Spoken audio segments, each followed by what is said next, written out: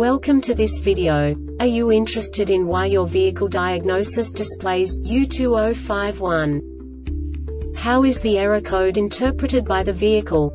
What does U2051 mean, or how to correct this fault? Today we will find answers to these questions together. Let's do this.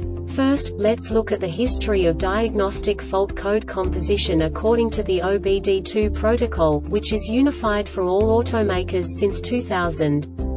We divide the electric system of automobile into the four basic units. Powertrain, body, chassis, network. This distribution is defined in the first character code. If the second character is expressed as zero, it is a standardized error. In the case of numbers 1, 2, 3 it is a more prestigious expression of the car-specific error. The third character specifies a subset of errors. The distribution shown is valid only for the standardized DTC code. Only the last two characters define the specific fault of the group. Let's not forget that such a division is valid only if the other character code is expressed by the number 0. Our website airbagreset.sk produces useful videos for you.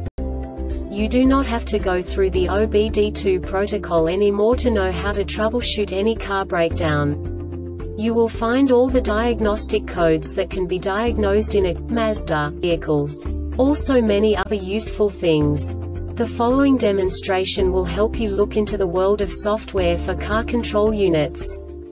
You unbelievably can move the video a bit further. The error code is split into two bytes consisting of 16 bits.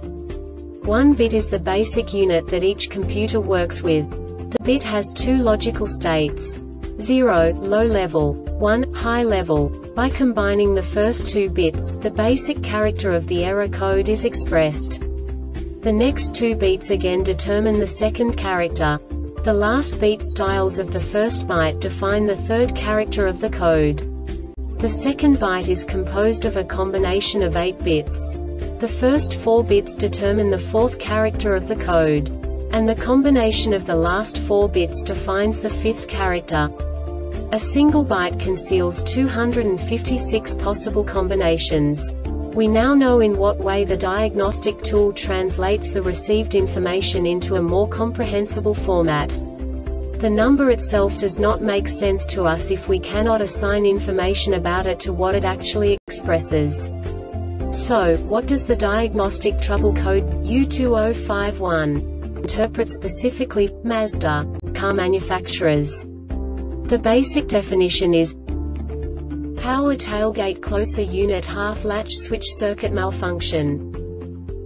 And now this is a short description of this DTC code. Poor communication between the power tailgate control unit and the tailgate closer unit.